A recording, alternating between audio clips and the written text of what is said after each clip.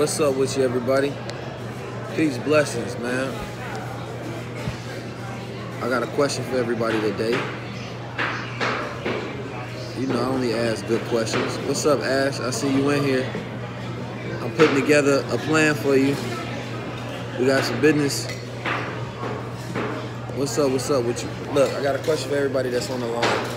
Uh, and the simple question is, are you listening to the podcast? Thank you. Thank you, thank you. If you want to sponsor the podcast, there's a button that you can press on there to appreciate. Um, I should be uploading a new episode tonight on the podcast. I'm gonna try to stay regular. Um, if, like I say, if you watch the, listen to the podcast and you want to help sponsor the podcast, um, you can always send something to the Cash App, or there's a direct button that allows you to subscribe and we become a sponsor monthly, and it allows me to shout you out as a top tier sponsor. But what I wanted to get into today was about um, daily goals, and I wanted to ask you, what are your daily goals? You can look at it like this. If a person says, and I'm gonna break this down in the most simple manner as possible. Let's say if a person say, I want to make um, three thousand dollars a month. So it's 30 days in a month, and the person will be like, I gotta make $100 a day. So that's $3,000. So that means that you would have to do something every single day to make sure that you met your goal.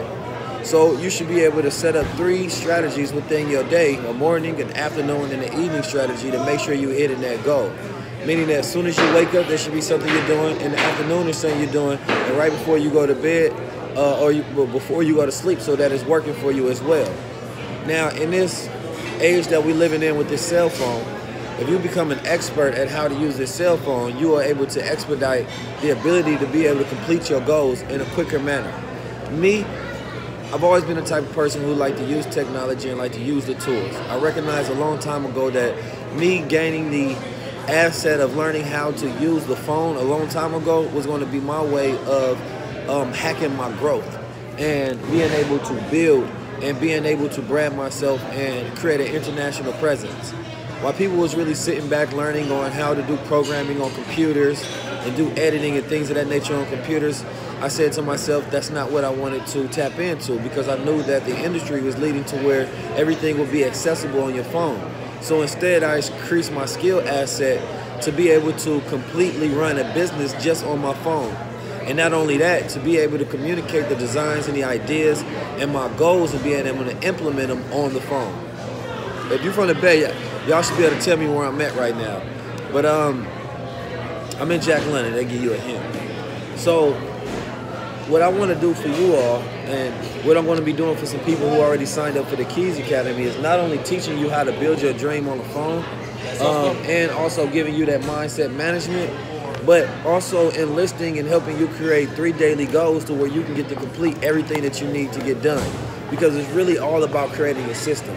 Once you create a system and you have a formula in place, then all you have to do is work your system daily.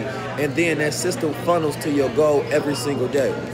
So, you know, case in point, I have an operation. I have to put out a certain amount of content every single day.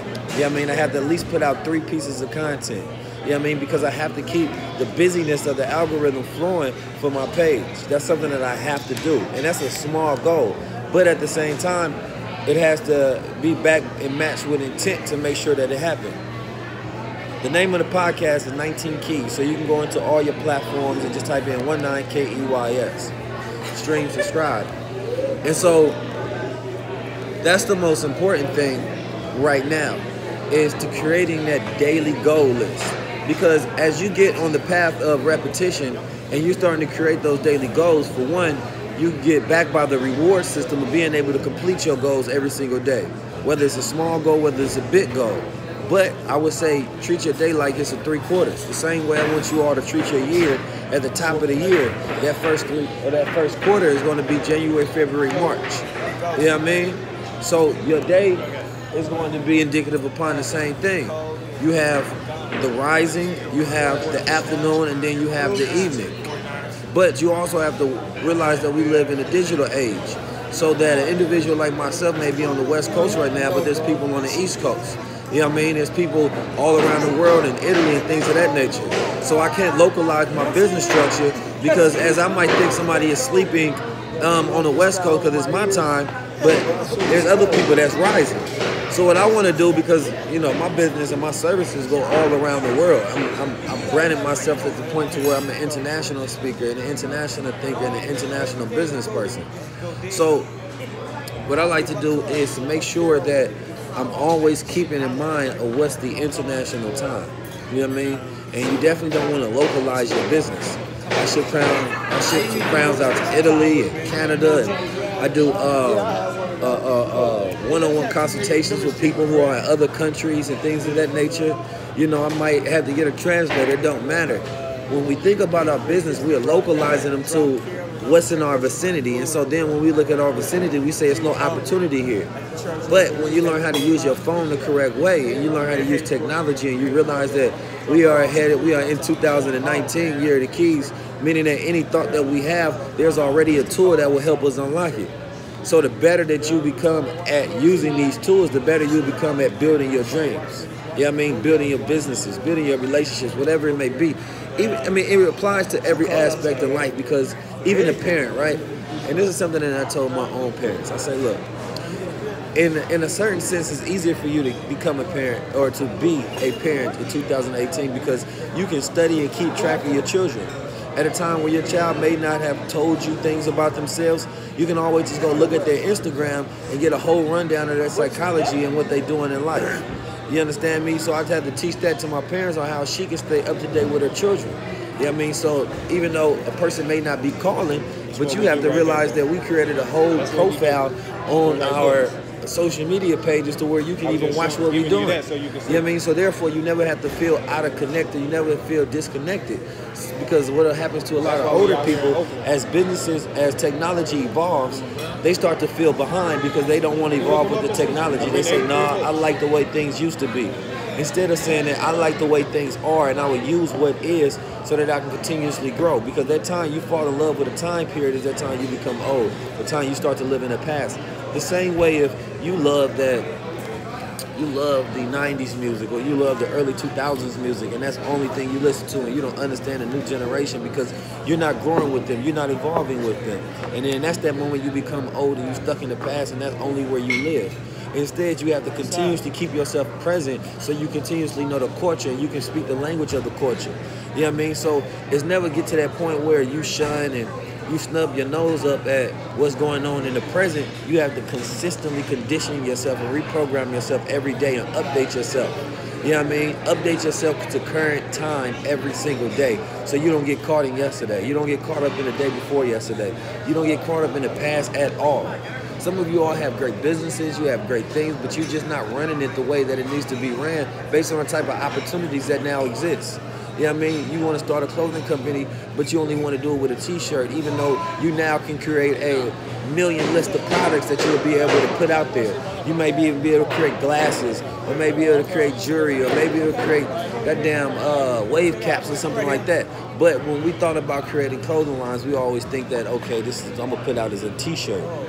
We have to be way beyond that. If you want to call a line, then maybe we should be putting out a wave cap put it at a certain price, and then sell a T-shirt just as a free addition additional bonus or something. Get people involved into the business. You can do things differently because you'll be able to design concepts right on your phone. But if you're not going to spend that time to to uh, uh, obtain a new skill, which can really just look like watching a tutorial on YouTube, then boom, you updated yourself. I mean, you're not the same person you was yesterday because you have a new um, neural connection. Your brain has changed a little bit. You know what I mean? And with new knowledge and new information, it changes who you are consistently. So when I say update yourself, I mean that in the most real way possible. What are you learning today? And we've always, I remember when we was in school, people asking, what did you learn today? And you know, in school, you're forced to have some sort of education. In society, you're not forced to have an education, but you're supposed to continue to grow.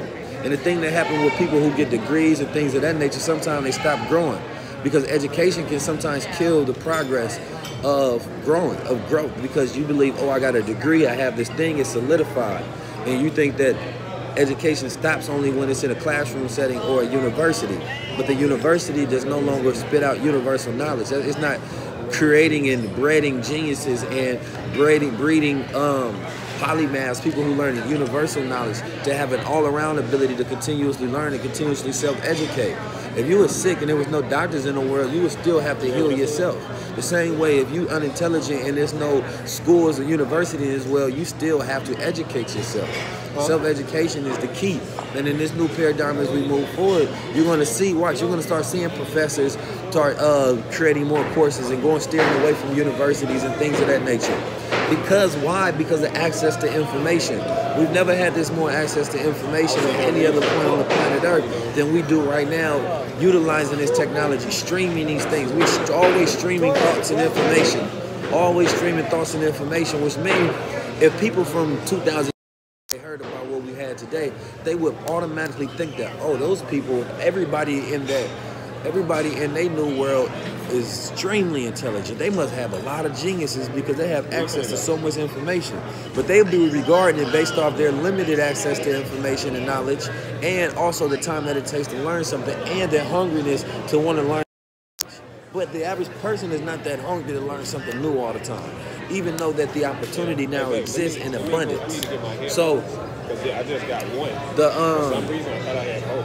the the the important thing is to consistently update yourself, consistently have that hunger for new information, consistently be enthused, and allow yourself to get the reward system, program yourself to enjoy the reward system of learning something new. Yeah, I mean that's going to be your most pivotal thing, and also learning applicable knowledge. You know, that's the key, applicable knowledge. Not just saying I'm reading things that make me feel good, even though reading regardless, it's still stretching the mind, it's still exercising the mind, but things that you need as skills that to take you further. Me, I learn from people as well. Like the people I'm surrounded with, I can learn from each and every one of them. If I can't learn from them, then we, we probably don't have a long relationship that we're going to be able to build with.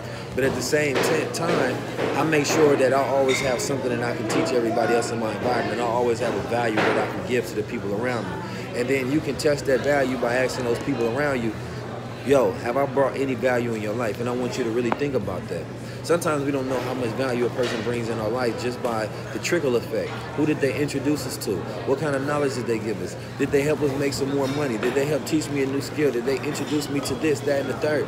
All of it is a measurement of value. You know what I mean? So when you think about all of the people in your life, you gotta think, damn, am I adding value to the people in my life? Or maybe I'm not. I'm not sure. You know what I mean? And if you're not sure, that means most likely then you're not. And then you can ask the same question to the people in your life, are they adding value? And if they not, then you know you heard the podcast, it's cutoff season. You get to get rid of it. So the question you need to ask is for yourself, are you adding value in your own life? And what are your goals for the day? And if you can't pinpoint goals that's going to get you to your objectives and the things that you want to actually get done, then you need to change something about your day. So in the morning, what's my goal? Right? Take a real piece of paper. Matter of fact, I want you to buy a whiteboard. Buy a whiteboard like you a teacher. Stick it on your wall. You know what I mean? And write down goal one. First you have your big goals, then you have your goals that fit inside. Your little goals are your strategy to get you to your bigger one. You know what I mean? So like I said, if you wanted to make three thousand dollars in a in a month a month, then you would say I gotta make hundred dollars, you know, per um per day. And then you had to break that down. Yeah, I mean? What does it look like? How do can I make if you wanted to work 10 hours, that'd be up to you, which means that you only have to make $10 an hour for yourself. I know with you, the fact that you have a mind, you can figure out a skill that does that. What I mean? Then you would say, or maybe I want to do it in five hours, and I mean I got to do $20 an hour. And then you can work five hours a day. You know what I'm talking about? So it's what are you willing to? What kind of goal are you willing to uh, involve yourself in? What kind of activities are you willing to involve yourself in in order to meet those goals? You know what I mean? And then when you start making little goals and little goals, like even if you're working a job, have you a small goal like, oh, I want to make an extra three hundred dollars a month. You know what I mean? Which looks like very pennies. You're making ten dollars a day extra. Yeah, I mean, you telling me you can't make an extra ten dollars a day? Let's say your rent is eight hundred dollars, and you're making an extra ten dollars a day. Guess what? You just knocked off a percentage of your, your your rent right there. But we don't break things down mathematically, which is the reason that we don't get to the objectives. We're not thinking mathematically, and that's why I want people to think mathematically because then you start to create a formula, you start to create a system, and these goals become so much easier. It's like January, cool. I didn't make my ten dollars. Make that every single day. Some of y'all really just need to make another ten or twenty dollars a day. That's it. Some of y'all in life will greatly improve. Because for some of y'all, that's like half of your rent money. That's it. An extra twenty dollars a day is half of your rent.